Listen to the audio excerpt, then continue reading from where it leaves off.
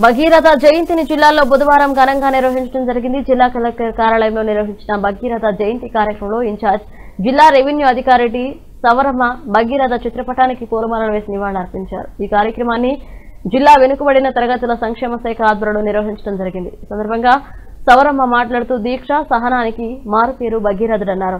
ఎంత కష్టమైనా లెక్క చేయకుండా సాధించగల ధీరుడు అన్నారు.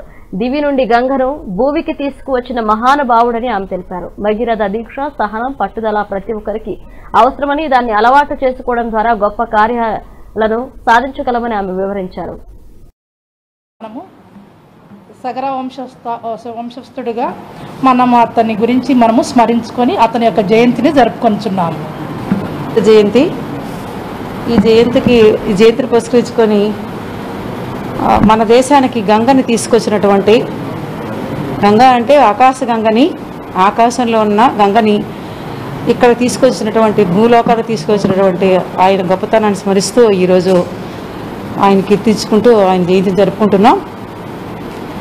సగర మహారాజుకి ఇద్దరు కొడుకుల్లో రెండో కొడుకుకి రెండో కొడుకు పేరు హంసమంతుడు అతనికి అరవై వేల మంది కొడుకులు. ఆ తర్వాత హంసమంతుడు కొన్నాళ్ళు తపస్సు చేస్తాడు. గంగాదేవి భూమికి రావాలని. అతని వల్ల అవ్వదు. హంసమంతుడు తమ్ముడు కూడా తయారు అవుతాడు. అలాగ అవ్వదు. హంసమంతుడు తమ్ముడు కొడుకు భగీరథుడు. తమ్ముడు కొడుకు కొడుకు భగీరథుడు. మనవడు అనమాట సగరుడు ముని మనవడు.